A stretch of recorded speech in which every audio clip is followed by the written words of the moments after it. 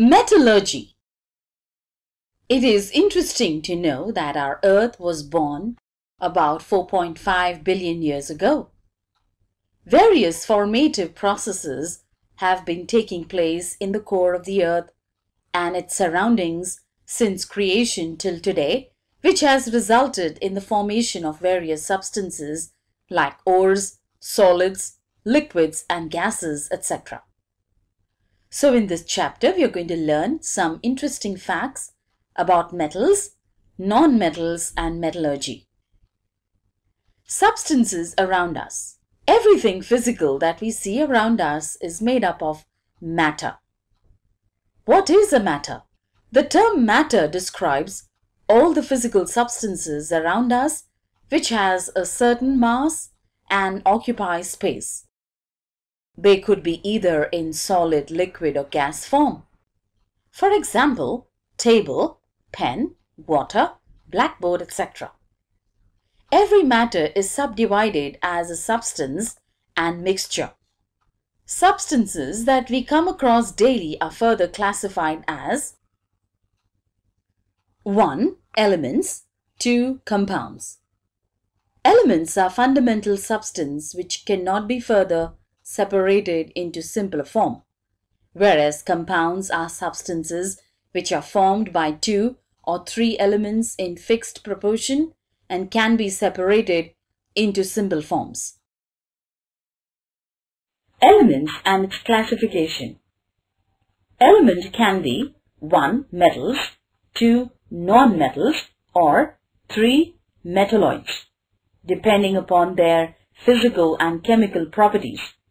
So let us start now and learn more details about this metal and non-metals. Physical properties of metals, non-metals and metalloids. After having understood the classification of substances and elements, let us now explore these elements in detail and study their properties. Properties are of two types. One, physical properties those properties which are externally visible to us. Two, chemical properties, those properties which are internally present and visible only on chemically reacting it with other substance. Let us learn the physical properties first. Physical properties of metals.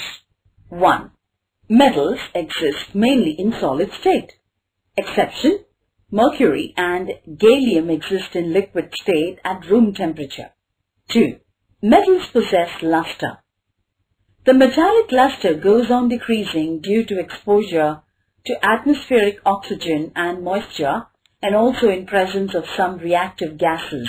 3. Metals have the properties namely ductility and malleability. 4.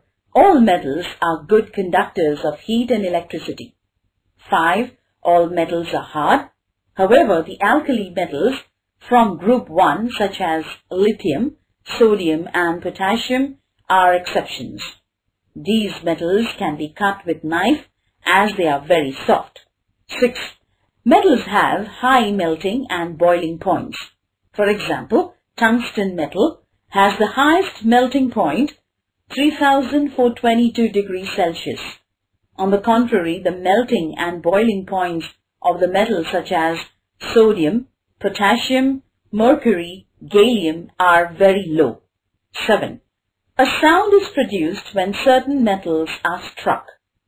This is called sonority. These metals are known as sonorous metals. Physical properties of non-metals. 1. Non-metals are in solid, liquid and gaseous state. 2. Non-metals do not possess luster, but iodine is the exception as its crystals are shiny. 3. Non-metals are not hard. Diamond, which is an allotrope of carbon, is the exception. Diamond is the hardest natural substance. 4. Non-metals have low melting and boiling points. 5. Non-metals are bad conductors of electricity and heat. Graphite an allotrope of carbon is an exception as it is a good conductor of electricity. 6. Non-metals do not have the properties namely ductility and malleability. Reactivity of metals Before we move to learn the chemical properties of metals and non-metals, let us get a brief idea about the reactivity of metals with salts of different metals and non-metals. Metals are highly reactive as they lose electrons easily and become positively charged ions. They are also called as electropositive elements. The reactivity of all metals is not the same. Example, if a metal A displaces another metal B from the solution of its salt, then it means that the metal A is more reactive than the metal B. The arrangement of metals in the increasing or decreasing order of reactivity is called the reactivity series of metals. Metals are divided into the following groups according to their reactivity. 1. Highly reactive metals. 2. Moderately reactive metals. 3. Less reactive metals. For example, in the example shown, the metal iron displaces copper from copper sulfate which means that iron is more reactive than copper. The easiest way to remember the reactivity series of metal is shown here in picture. As you go up the series, the reactivity increases. Chemical properties of metals and non-metals. Chemical properties of metals. A. Reaction of metals with oxygen. Metals combine with oxygen on heating in air and metal oxides are formed. For example, sodium metal combines with oxygen in the air even at room temperature and forms sodium oxide. B. Reaction of metals with water. Sodium and potassium metal react rapidly and vigorously with water and liberates hydrogen gas calcium reacts with water slowly and less vigorously. The hydrogen gas released in this reaction collects on the surface of the metal in the form of bubbles and the metal floats on water. The metals aluminium, iron and zinc do not react with cold or hot water but they react with steam to form their oxides. Hydrogen gas is released in this reaction. C. Reaction of metals with dilute acids, HCl. When samples of aluminium, magnesium, iron or zinc are treated with dilute sulfuric or hydrochloric acid, sulfate or chloride salts of metals are formed. Hydrogen gas is liberated in this reaction. The reactivity of these metals can be indicated by the following sequence. Mg is greater than Al is greater than Zn is greater than Fe. Magnesium when reacts with dilute sulfuric acid gives magnesium chloride and hydrogen gas is released. Aluminium when reacts with dilute sulfuric acid gives aluminum chloride and hydrogen gas is released. D reaction of metals with nitric acid. Nitrate salts of metals are formed on reaction of metals with nitric acid. Various oxides of nitrogen, N2O, NO, NO2 are also formed. For example, copper when reacts with nitric acid gives nitrate salt of metal and nitrogen dioxide and water is released. E reaction of metals with salts of other metals. When a metal reacts with the salts of other metals, then the more reactive metal displaces the less reactive one. In the example shown, the metal iron displaces copper from copper sulfate, which means that iron is more reactive than copper. Reaction of metals with non-metals. When metals react with non-metals, then ionic compounds are formed. For example, the ionic compound sodium chloride is formed as sodium metal, gives away one electron, while the non-metal chlorine takes up one electron. Chemical properties of non-metals.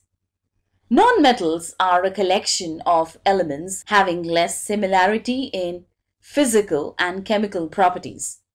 Non-metals are also called electronegative elements as they form negatively charged ions by accepting electron. A. Reaction of non-metals with oxygen. Non-metals combine with oxygen to form acidic oxides or neutral oxides. For example, when carbon combines with oxygen, it forms carbon dioxide. B. Reaction of nonmetals with water. Among the nonmetals, only halogens react with water to form hypohalides. For example, when chlorine reacts with water, it forms hypochlorite. C. Reaction of nonmetals with dilute acids. Among the nonmetals, only halogens react with dilute acids to form hydrogen halide. For example, when chlorine reacts with dilute hydrobromic acid, it forms hydrogen chloride. D. Reaction of nonmetals with hydrogen. Nonmetals react with hydrogen under certain condition of temperature, pressure, catalyst, etc to form a particular gas. For example, when sulfur reacts with hydrogen, it forms hydrogen sulfide gas. Ionic compounds and its properties. What are ionic compounds? The compounds formed from two units, namely cation and anion, are called ionic compounds. The cation and anion being oppositely charged there is an electrostatic force of attraction between them. The electrostatic force of attraction between cation and anion is called as the ionic bond. The arrangement of ions is different in different ionic compounds and therefore the shapes of their crystals are different. Two of the important factors responsible for a certain crystal structure are as follows. 1 size of the positively and negatively charged ions. 2. Magnitude of the electrical charge on the ions. General properties of ionic compounds. 1. They are crystalline in nature. 2. They are electrically neutral. 3. Ionic compounds are brittle and can be broken into pieces. 4. They have high melting and boiling point. 5. They are soluble in water. They can conduct electricity only in fused or molten state and not in solid state. Metallurgy What is metallurgy? The science and technology regarding the extraction of metals from ores and their purification for the use is called metallurgy. If metals can be extracted from their ores by means of various methods of separation. The process of extraction of metal in pure state from the ores is also a part of metallurgy. Meaning of metallurgy Ores are taken out from the mines. The gangue is usually separated from the ore by various methods. The ores are carried out to the place where metals are produced. Their metals are extracted in pure form. Then metals are further purified by different methods of purification. This entire process is called metallurgy. Occurrence of metals The metals which are found free in the nature are generally found in different forms. Let us understand those forms. 1. Minerals the compounds of metals that occur in nature along with the impurities are called minerals. 2. Ores The minerals from which the metal can be separated economically are called ores. 3. Gangue. Ores contain many types of impurities such as soil, sand and rocky substances along with a metal compound. These impurities are called gangue. Basic principles of metallurgy. Pure metals can be obtained from the ores by following stages. 1. Concentration of ores. A. Separation by gravitation. B. Magnetic separation method. C. Froth flotation method. D. Leaching. 2. Extraction of metals. A. Extraction of reactive metals, aluminium. B. Extraction of moderately reactive metals, iron, zinc, etc. C. Extraction of less reactive metal, copper, silver, gold, etc. 3. Refining of metal. Stage 1. Concentration of ores.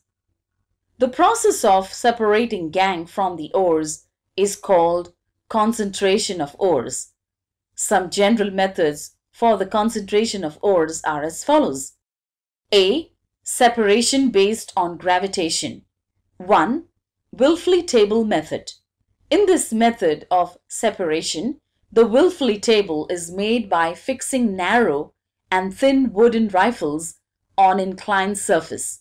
The table is kept vibrating continuously. Powdered ore obtained from lumps of the ore using ball mill is poured on the table and the stream of water is also released from the upper side.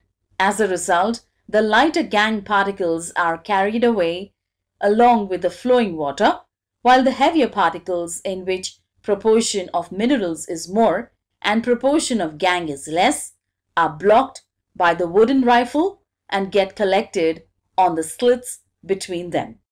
2. Hydraulic separation method. The hydraulic separation method is based on the working of a mill. Steps.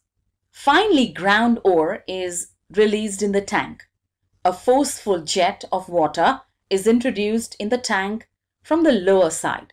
Gangue particles are lighter and therefore they flow out along with the water jet from the outlet on the upper side of the tank and get collected separately. At the same time, the heavy particles of the ore are collected at the bottom from the lower side of the tank. In short, this method is based on the law of gravitation, wherein particles of the same size are separated by their weight with the help of water. B. Magnetic separation method. In this method, the magnetic and non-magnetic particle present in the ore are separated by electromagnetic machine. Steps. The powdered ore is poured on the conveyor belt near the non-magnetic roller. The non-magnetic particles in the ore are not attracted towards the magnetic roller. Therefore, they are carried further along the belt and fall in the collector vessel placed away from the magnetic roller. At the same time, the particles of the magnetic ingredients of the ore stick to the magnetic roller and therefore fall in the collector vessel near and below the magnetic roller. For example, cassiterite is a tin ore. It contains mainly the non-magnetic ingredient stannic oxide SnO2 and the magnetic ingredient ferrous tungstate FeWO4, these are separated by the electromagnetic method. C. Froth flotation method. The froth flotation method is based on the two opposite properties, hydrophilic, soluble in water, and hydrophobic, insoluble in water, of the particles. Steps. In this method, the finely ground ore is put into a big tank containing ample amount of water. Certain vegetable oil such as pine oil, eucalyptus oil is added in the water for the formation of froth. Pressurized air is blown through the water. There is an agitator rotating around its axis in the center of the flotation tank. Bubbles are formed due to the blown air. Due to agitation, a foam is formed from oil, water and air bubbles together due to the agitating. This foam rises to the surface of water and floats. That is why this method is called froth flotation process. For example, this method is used for the concentration of zinc blende, ZNS. D. Leaching. Steps. In this method, the ore is soaked in a certain solution for a long time. The ore dissolves in that solution due to a specific chemical reaction. The gangue from the ore can be separated out as it does not dissolve. For example, the concentration of bauxite, the aluminium ore, is done by leaching method. Here, bauxite is soaked in aqueous NaOH or aqueous Na2CO3 which dissolves the main ingredient alumina in it. Stage 2 Extraction of metals A. Extraction of reactive metals Aluminium The metals at the top of the reactivity series are highly reactive. For example, potassium, sodium, aluminium are reactive metals. We are now going to see how aluminium is obtained by electrolytic reduction of aluminium oxide in the ore bauxite. Extraction of aluminium. Details of aluminium. Symbol Al. Atomic number 13. Electronic configuration 283. Valency 3. Color silver white. Aluminium is extracted from its ore bauxite. Bauxite contains 30% to 70% of Al2O3 and remaining part is gangue. It is made up of sand, silica, iron oxide, etc. Steps 1. Concentration of bauxite ore. Bauxite is the main ore of aluminum. Silica, SiO2, ferric oxide, Fe2O3, and titanium oxide, TiO2, are the impurities present in bauxite. Separation of these impurities is done by leaching process using either A. Bayer's method, B. Hall's method. In both these methods, finally, the concentrated alumina is obtained by calcination. A. Bayer's process. In the Bayer's process, the ore is first ground in a ball mill. Then it is leached by heating with concentrated solution of caustic soda, NaOH, at 140 to 150 degrees Celsius under high pressure for 2 to 8 hours in a digester. Aluminum oxide being amphoteric in nature, it reacts with aqueous solution of sodium hydroxide to sodium aluminate and water. This means that bauxite is leached by sodium hydroxide solution. The iron oxide in the gangue does not dissolve in aqueous sodium hydroxide. It is separated by filtration. However, silica in the gangue dissolves in aqueous sodium hydroxide to form water-soluble sodium silicate. Aqueous sodium aluminate is diluted by putting in water and is cooled to 50 degrees Celsius. This results in precipitation of aluminum hydroxide. B. Hall's process. In the Hall's process, the ore is powdered, then leached by heating with aqueous sodium carbonate in a digester to form water-soluble sodium aluminate. Then the insoluble impurities are filtered out. The filtrate is warmed and neutralized by passing carbon dioxide gas through it. This results in the precipitation of aluminum hydroxide. The precipitate of AlO3 obtained in both Bayer's and Hall's processes is filtered, washed, dried and then calcined by heating at 1000 degrees Celsius to obtain alumina. 2. Electrolytic reduction of alumina. The alumina obtained from step 1 is electrolyzed in a steel tank. Melting point is more than 2000 degrees Celsius. The tank has a graphite lining which acts as cathode and many graphite rods dipped in the molten electrolyte acts as anode. Cryolite and fluorspar are added to lower melting point to 1000 degrees Celsius. Aluminum gets deposited on the cathode and the molten aluminum gets deposited at the bottom of the tank. Oxygen gas is liberated at the anode. B. Extraction of moderately reactive metals, iron, zinc, etc. The metals in the middle of the reactivity series such as iron, zinc, lead, copper are moderately reactive. They occur in the form of their sulfide salts or carbonate. The oxides are easily extracted from these metal sulfide or carbonate ores by the process of roasting and calcination and then they are reduced to get pure metal. 1. Roasting. When the sulfide ores are strongly heated in air to transform them into oxides, this process is called roasting. 2. Calcination. When carbonate ores are strongly heated in a limited supply of air to transform them into oxides, this process is called calcination. The zinc oxide ZnO so obtained is reduced to zinc by using suitable reductant such as carbon. Apart from carbon, reactive metals such as sodium, calcium, aluminum are also used as reducing agent for the reduction of metal oxide to obtain the metal.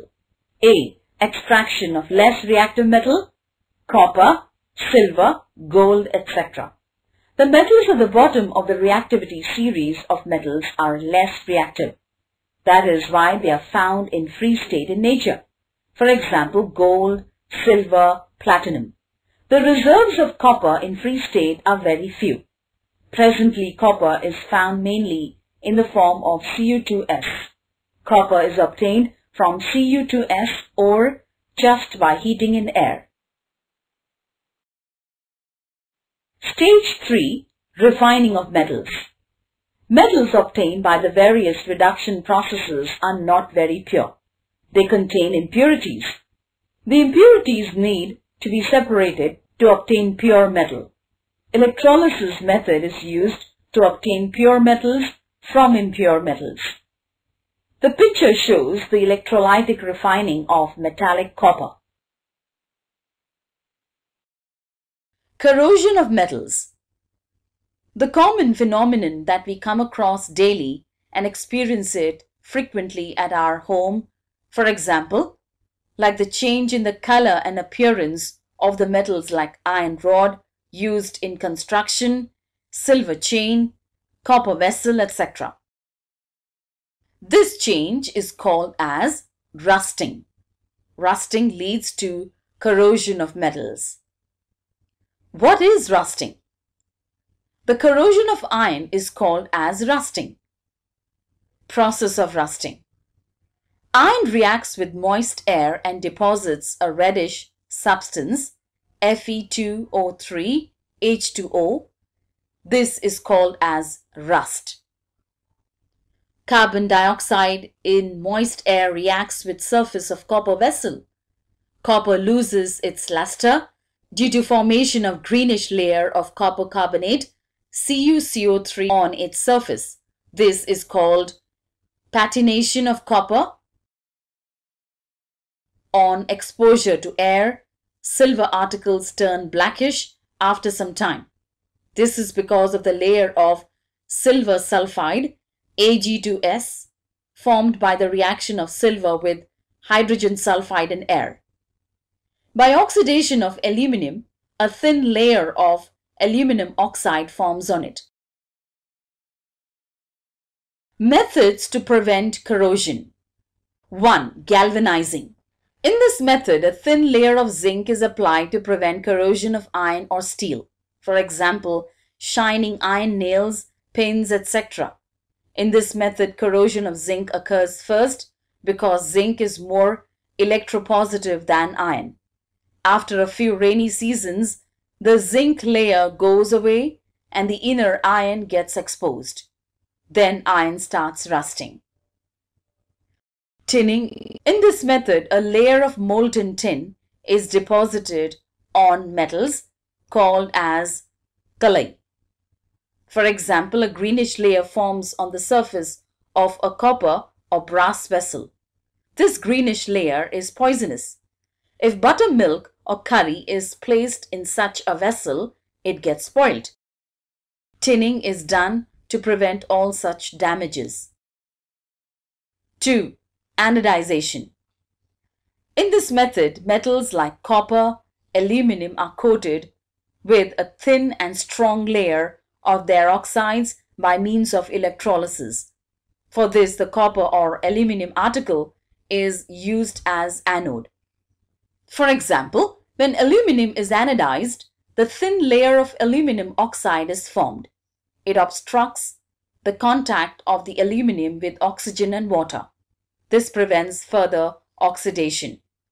This protection can be further increased by making the oxide layer thicker during the anodization. 3. Electroplating In this method, a less reactive metal is coated on a more reactive metal by electrolysis.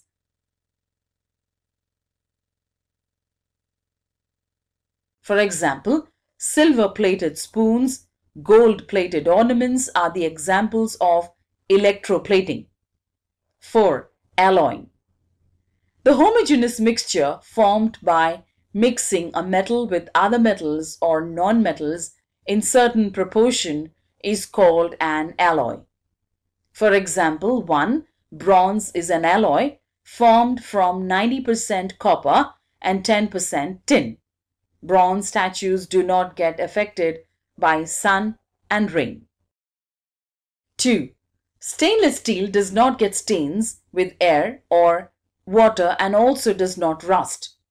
It is an alloy made from 74% iron 18% chromium and 8% carbon.